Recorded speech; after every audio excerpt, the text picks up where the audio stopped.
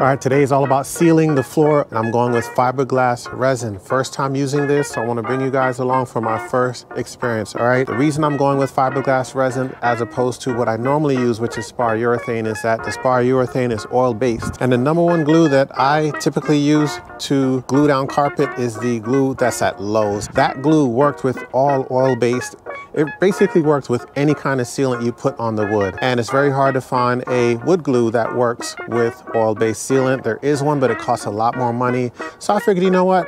Let me take this time to try a new product out. New to me, all right? Fiberglass resin for wood is nothing new to the industry, to people out there, especially DIYers. Got my wood, everything is ready to go. It's about a 60 degree day outside, so I think I got great weather for this. I'm going with Bondo fiberglass resin. Underneath the lid comes with the hardener so if you're buying it, make sure the hardener is there and also make sure the hardener is clear. I looked under here for a couple other ones in the store and it had turned brown. So I don't know if that, oh, that's interesting. Like an inch down from the top. I don't know if that's normal. Yeah, it looks normal. All right, for a minute there, I thought that the hardener was open and used. But like I was saying, make sure that it is clear. I saw some other ones and the hardener turned brown. I don't know if that's age or maybe it was returned or tampered with or just a bad batch but you've got your hardener there. This stuff will harden up pretty quick. And depending on how much hardener you go with will determine how quickly the fiberglass resin starts to solidify. So what I anticipate doing is using the recommended ratio on the back of this can and I may up it just a little bit because I don't want a situation where it's just not hardening. I'm going with a roller, that way I can apply it faster. So this is disposable, I can throw it out when I'm done, but I'm going with a roller. I'm gonna add a little bit extra hardener because I want this thing to, to harden up in an hour.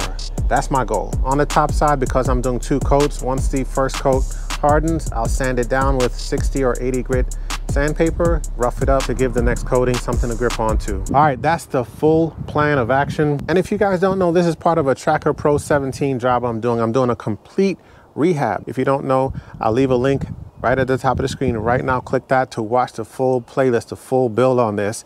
And I'll also leave a video link down in the description below. Check that out. One way to measure this is for every one ounce, you use 10 drops of hardener. These cups have the ounce mark. I'm gonna go with 12 ounces, 10 drops per ounce, so that's 120 drops. I am gonna do a little bit extra like I mentioned, but I wanna stay as close to the recommendation until I get used to this stuff and know what I, how I can play around. Some guys just dump the hardener in and sometimes that backfires on you, but I'm gonna play it safe. This is my first time through. They recommend just put a little hole in there so that you can regulate the drops and I'm gonna do that now. A little longer than a few minutes later. I probably put like 150 drops. It took a lot of patience to do that, but I'd rather it dry quicker than not solidify at all. And there's workarounds. If that does happen, I already know what to do, but I wanna get it right the first time. Who has time to waste? All right, this stuff is pretty thick. Glad I'm doing this outside because this stuff stinks. Very strong smell. Go ahead and pour it out. All right, rolls on pretty easy, pretty smooth. Just making sure I have a really good coating. And guys, I would have went with a paintbrush, but since I have a lot of wood to cover, I didn't want to risk just not being able to cover it as quickly as I need to. I'm keeping a close eye on the actual wood surface just to make sure that I have a good enough coating on here. I've already gone over a couple spots that I've done just to make sure. But yeah, it's going on really well. 12 ounces is definitely not going to cover this entire piece. So it looks like 24 ounces will be my magic number to cover one side. And again, this is about a four, roughly a four by six, I would say. I am not mad at all. It's covering it really well. Shout out to Nate at Nate's Custom Boats. He's the one who recommended using a roller. The way he does it. I'm glad I called him and just talked to him about it a little bit. Shout out to Anthony Jones who put me on to this resin stuff. So it actually does a little bit more than half. Yeah, I can see it's already, already starting to dry, which is what I wanna see. All right guys, 12 ounces completely done. I've gone past the halfway mark. Probably do another 12 ounces. I might do 10 instead. I do have the side rim to do as well. So I'm gonna get to mixing, pour some more in here. Won't show you that.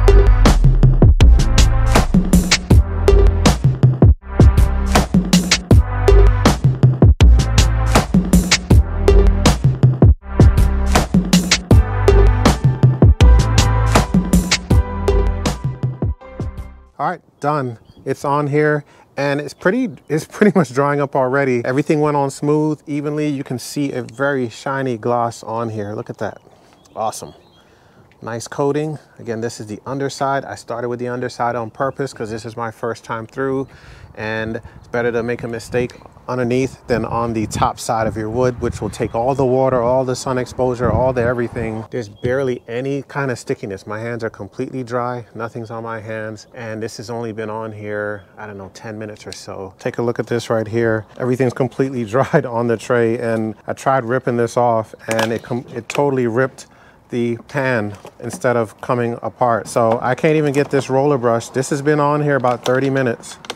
And yeah, it's it's on there. I'm gonna rip my gloves even trying to rip this even more. If it's putting this kind of coating and strength onto this, I mean, imagine what it's doing for your deck of your boat. I was trying to take this off so that I could reuse this tray. I figured it, it's already dry. I could just pour more resin in there and do my next coats, but that didn't work out. So I'm gonna toss this out. Now that I'm a lot more comfortable, I'm gonna mix one batch to do the entire top side without having to swap out rollers or anything like that. I'm gonna mix a 20 ounce cup and that should cover the entire surface of the boat floor. Next will be the underside, two coats. All right, coat one on the top side of this wood is done. 20 ounces of resin was the perfect amount. Coated this side, there was none left over. Very satisfied with that. I was able to just use one roller brush to do this side. So reasonably, once you get your quantities right, you can save on materials like brushes and rollers and what have you. Just finished sanding down the first coat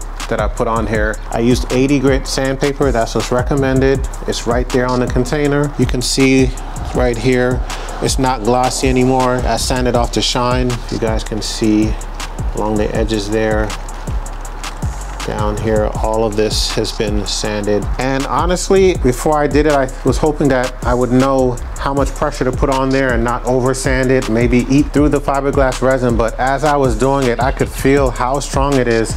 It's honestly like trying to sand glass. So I was able to put pressure on it with confidence knowing that I wasn't sanding down too much. I am gonna brush this off with a broom. It didn't say to do that, but I'm just using my own judgment there, thinking, okay, all of the powder-like sanding shouldn't be on here when I do the final coat. So I'm just gonna literally take a brush and just sweep off what I'm gonna call just the dust from the sanding and then put the last coat on.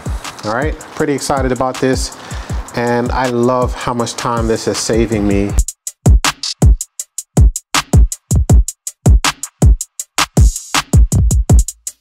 All right, final coat is on here, nice and dry. Got a nice gloss on it. Don't have much sunshine to show you this shot, but hopefully you can get a good feel for the finish here. I did let this dry overnight because I am gonna sand this down for carpeting, but wanted to give you guys a good view of what it's like. And I mean, this is some strong stuff it, it's no joke. I'm, I'm pretty impressed with it. Uh, it's really like a really good glass finish. So just to go over some pros and cons for the fiberglass resin, and this is just with my initial use. Again, this is my first time going through, so I'm by no means a seasoned veteran when it comes to this stuff. Immediate pro, dry time is short, a lot shorter than it is for other sealants. I know with the spar urethane, and I love that stuff. Protect The protection with the spar urethane is great. So by no means am I now against spar urethane. I use it on two boats already and it's awesome. But the dry time is minimally four hours. So if you multiply that by the three recommended coats, you do the math, it's a lot of time. With this, you can save a lot of time and get the job done really quick. So that leads to pro number two,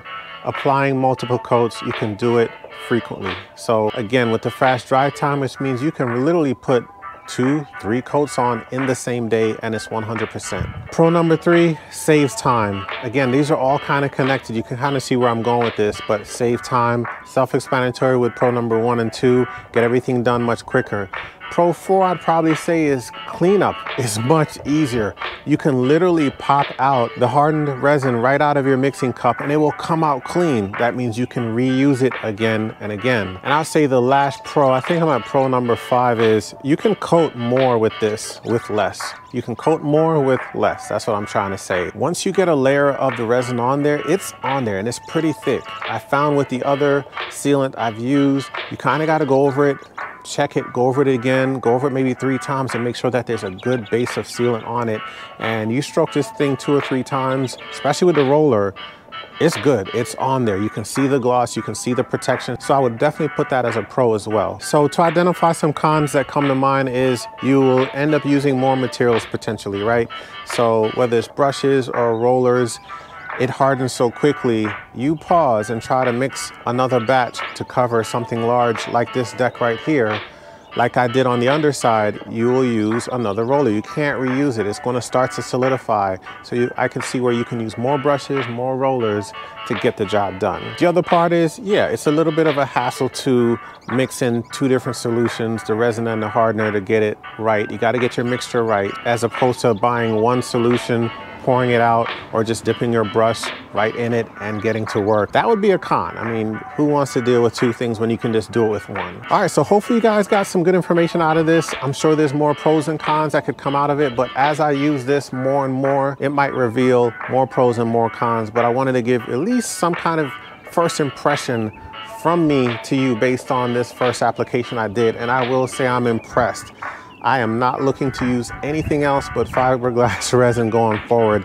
And guys, I'm in no way, shape or form sponsored by any fiberglass resin company. This is just raw, uncut opinion right here. That's it, all right? I have nothing to gain from this. Just wanna share some information and hopefully I was able to do that.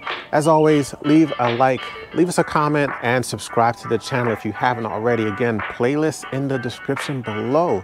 Check out the full, full playlist on this John Boat rehab project. Actually, let me not even say John Boat. I'm used to saying John Boat all the time.